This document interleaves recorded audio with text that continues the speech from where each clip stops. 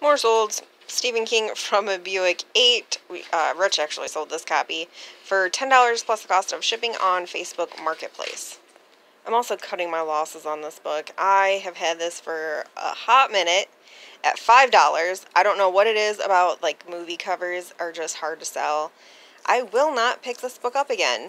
I bought it from Salvation Army for 50 cents. I've had it up for $5. It sold once, and I was super excited about it, and then the person canceled the order. So I had to relist it, which cost me more in listing fees. I am in the hole, and I took a $3 offer just to move it along. First up, local library found copy of the Tommyknockers and the Dark Half, 50 cents a piece. Yep, absolutely. Oh my gosh, even with this crappy weather, we found a garage sale. Garage sale was just a bunch of baby stuff. She had closed down a uh, daycare center. So we're going to check Salvation Army.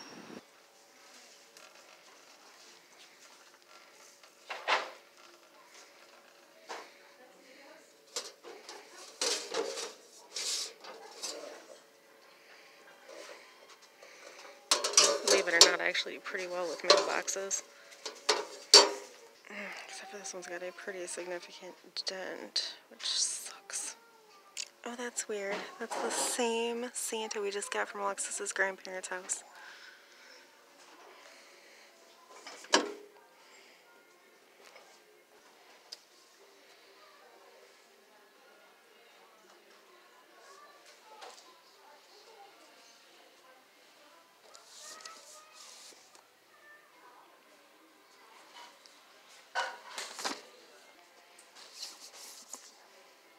Oh, I already have that one.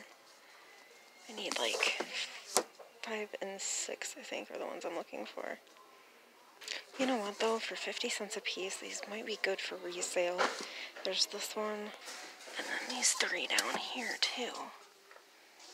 I had already sold this copy once for five bucks. I figured five and five and maybe eight on these two. I'm reading this one before I do anything with it. Man, this is a good one to sell too.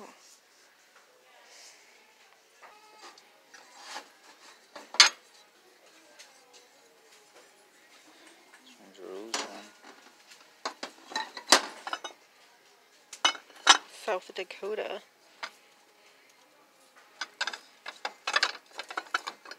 Texas. That's where I was born.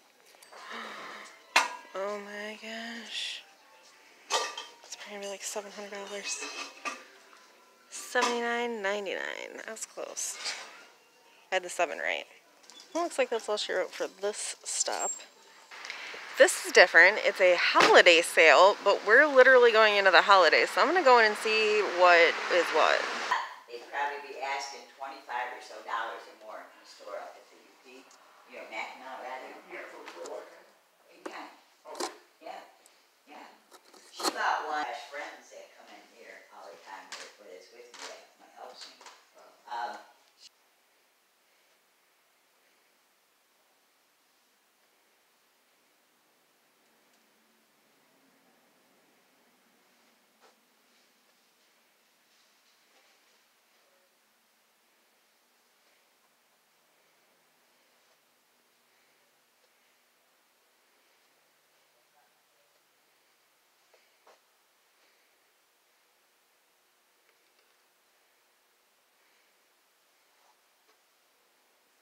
And we've made it. If anyone was wondering what the outside of the antique mall looks like, this is part of it. Okay, now we have to figure out where to put all this stuff. I took a bunch of crap off eBay that just wasn't selling. This, that planter, this vase, OFCs, this we got from Alexis's grandparents' house. It's like a rucksack type thing. I don't know. I thought it was neat. So yeah, let's uh, let's get to organizing. Check this out though. All but two of those wooden shutters that we garbage picked have sold. So I've already made 30 bucks off those. Score. I also took a bunch of freaking cassette tapes that were sitting on eBay forever offline. I did sell two of the Elton John ones that were here. I Can't believe those are still here. Weird. We have to figure out where to put this stupid giant trunk. But we're almost out of duck decoys. This used to be like overflowing with duck decoys.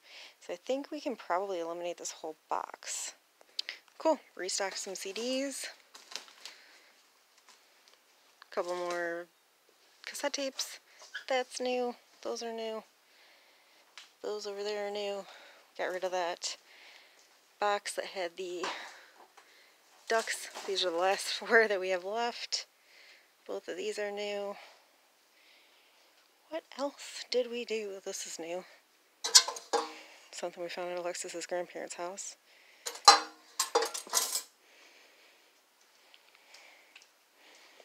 These we brought from eBay stuff. Something else we brought from Alexis's grandparents' house. Quilts. Got that one. That one. Both of those came from Alexis's grandparents' house. Along with that mirror. That we garbage picked. Um, yeah, I don't know. That we took off eBay because it wasn't selling. There's that little rucksack thing. So yeah, looking good. Both of those also came from Alexis's grandparents' house. So I think we're pretty much done wrapping it up. And we have a check. We have like a, it's like a hundred-ish dollars. So not great, but I'll take it. Oh, that's new too. $97.11. Finally found something that is not a book. $3 at a garage sale in 1968. Uh, em I almost said Emerald. Empire Blowmold. Officially our last pick and stop of today. Aren't these something? They are. And they know they are. Even with a busted nose, they want 20 bucks for them. That sucks. 25 for him. And 25 for him. Prices are just too high today.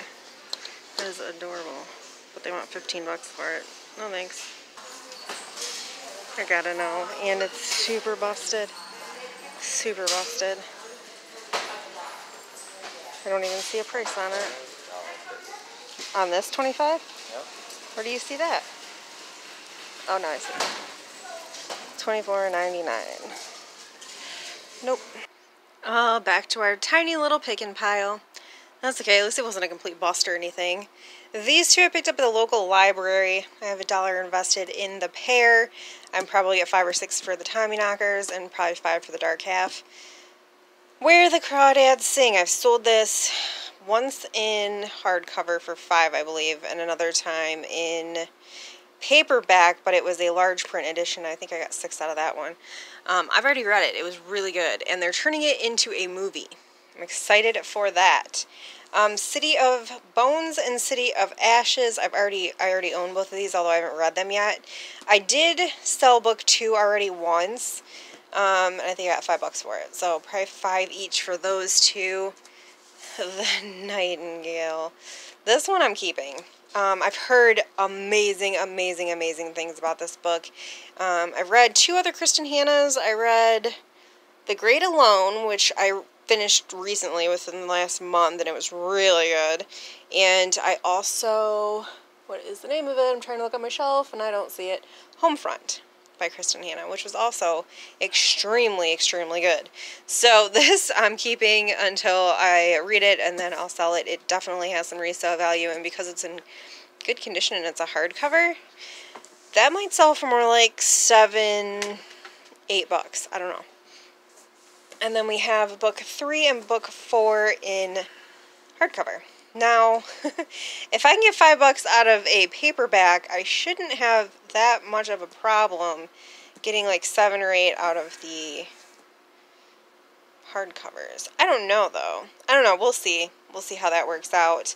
Um, I kind of wish I had all of these in hardcover instead of paperback, but I don't, so whatever. Moving on. I found a vintage blow mold for $3 because this is a little itty bitty guy and his core does have some, I don't know if you'd call that damage, but it's like been rewired weird. I don't know, I don't like it, but um, it needs a new cord is what I'm trying to say. Go in, go to your home. Um, that's not really a huge deal, but it does very slightly dollar ninety something. Um, it does slightly take away from the resale value, but I should still be able to get like twenty five bucks for this guy, plus cost of shipping.